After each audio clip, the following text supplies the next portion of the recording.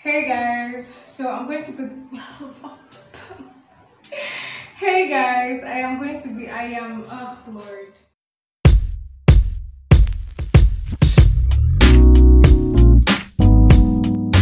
Hey guys, I'm going to be putting my hair in flat twists. I just unraveled it from thread. God, if I do like this, like you can see the shape of my hair. Wait, I've actually always wondered what shape my hair was. It's like big and then like this. So that's my head shape. Okay, nice. Anyway, let's spray some water in my hair. Make it easier to work with. So this has only water in it. I did not put any other thing. Water! And let the shrinkage begin. I trust my hair.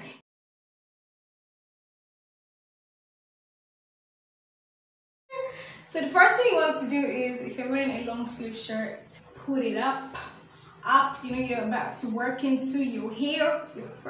Sorry. Now we're going to start with dividing our hair into sections. You can choose to prepare all the sections on your head down, or divide your sections as you go, which is what I am doing. My section is quite big because I'm doing chunky twists, but if you want something smaller, make sure to cut a smaller section. My lines were quite crooked because I'm going to be scarfing my hair, so this is my leave-in cream and this is the only product I'm going to be using for this flat twist.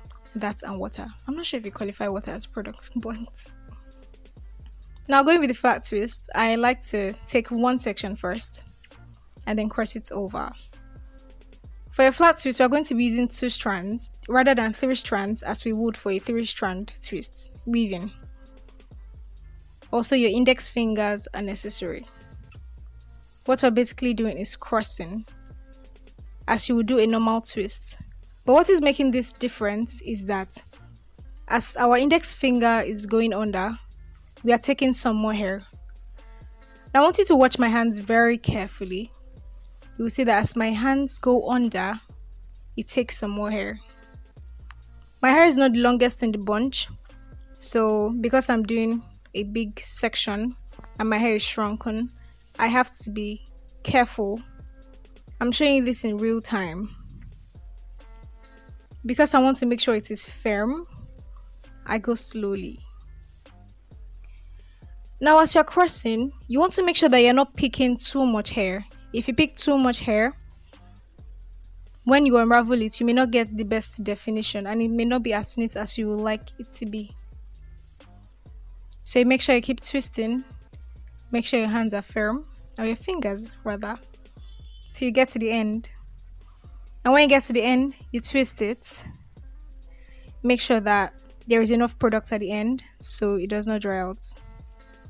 And I like to finish off with a bantu knot because that way my ends are protected.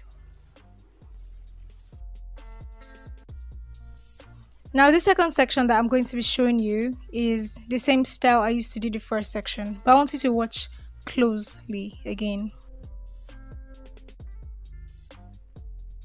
I make sure to moisturize each section as I detangle.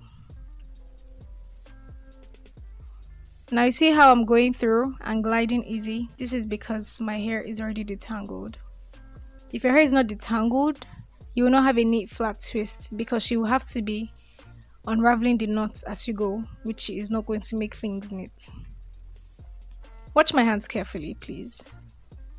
You see that as my index fingers go under, I'm picking some more. And as they do, my fingers are very firm because I want it to be neat. The thing about twists is that they would unravel a little bit by themselves when you're done with twisting them. So you want to make sure that while twisting them, they're as firm as they can be so that when you are done, you still have a neat twist.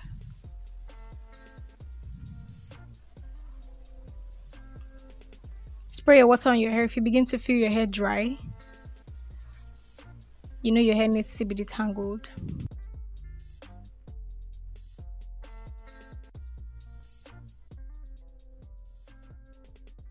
Now this is the second style I'm going to be showing you. This is the style I use when I cannot get comfortably to the back of my head. It is not my favorite style because I tend to steal from other strands, which is what I would advise you not to do if you want to get a nice definition. But when I cannot reach the back of my hair, this is the style I do.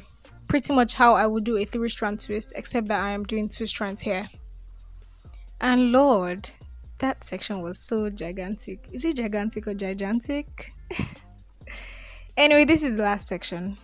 Of course, we finger detangle. And this is the third style. It is pretty much what I showed you for the first side, for the first couple of sections, except that this time we are twisting right. Same, same style. Put your index finger under under the hair and take some hair as you are progressing downwards. Also, your hands should be firm. Is it hands or fingers? then keep progressing and keep going, keep going. Your hands may be aching you at this point, but just keep going. Because my hands were aching me. Oh lord. I know this is just five, but make sure that you have enough products in the ends of your hair and then put it in a bantu knot. And we are done. Look at how gorgeous they look. Yeah, smiling for y'all. Thank you so much, guys, for watching. We are done. Here, I was talking about how I'm not going to be laying any edges because Mans was tired. Thank you so much, guys, for watching. If you enjoyed this, please, or if you learned it too, please make sure to give a big thumbs up. Make sure to subscribe so you don't miss subsequent videos. And I'll see you in the next video. Bye.